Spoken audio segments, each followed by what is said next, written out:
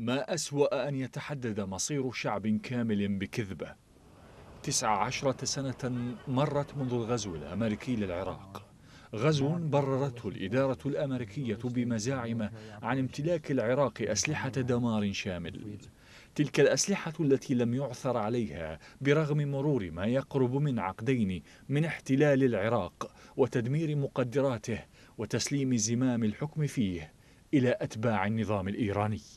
935 تصريحا كاذبا بشأن التهديد الذي يمثله العراق على الولايات المتحدة أصدرتها إدارة الرئيس الأمريكي جورج دبليو بوش في الفترة ما بين 2001 و2003 بحسب مركز النزاهة العامة الأمريكي في تقرير نشر في 2008 ما يضع تلك الإدارة الأمريكية في مقدمة أكثر الإدارات كذبا ربما في العالم أجمع.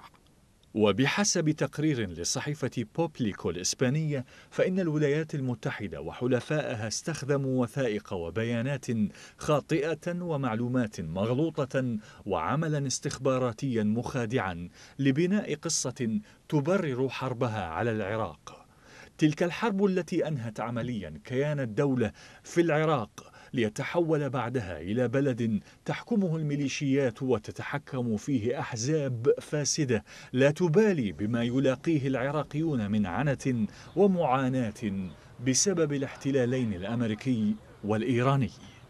وبعد مرور نحو عقدين على الغزو يتجدد الجدل تزامنا مع ما يراه العالم من ازدواجية في المعايير وعنصرية بغيضة من جانب الدول الغربية إزاء ما يجري من انتهاكات واستهداف للمدنيين في أوكرانيا من قوات الغزو الروسية.